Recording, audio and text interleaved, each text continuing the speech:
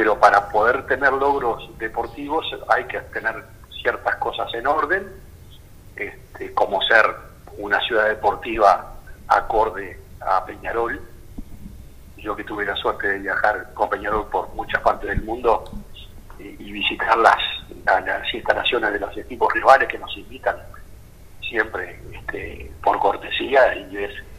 las canchas que tienen, la infraestructura que tienen y bueno, y te das cuenta que estábamos muy lejos de cuadros muy pequeños, como decirte el San Martín de Tucumán, que no es Atlético de Tucumán, ahí donde jugaba Emiliano Olín, en la B de Argentina en un momento, fuimos a practicar ahí cuando jugamos contra Atlético, y yo no podía creer la cantidad de canchas que tenía San Martín de Tucumán, que prácticamente nadie lo conoce, acá en Uruguay, no con todo respeto. Era muy importante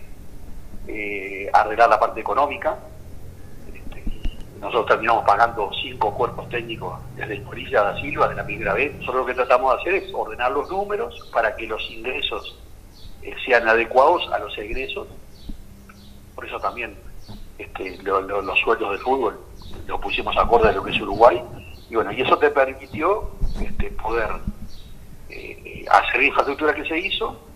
eh, tener todo pago, no, no deber un peso de eso, no porque era muy fácil hacer, pedir créditos y después que, que venga que lo paguen. Nosotros no vamos a dejar el club con un dólar de deuda de todo lo que hicimos, está todo pago y todavía pagamos muchas cuentas viejas este, que, había que pagar. Y bueno, a partir de ahora, con la infraestructura hecha, con la ciudad deportiva, bueno, nuestro plan mayor es reforzar al equipo y tener, ni que hablar que ganar la mayor cantidad de uruguayos posible, pero sí la fija y la, meta está en, en, el, lo internacional, que la última sudamericana fue muy mala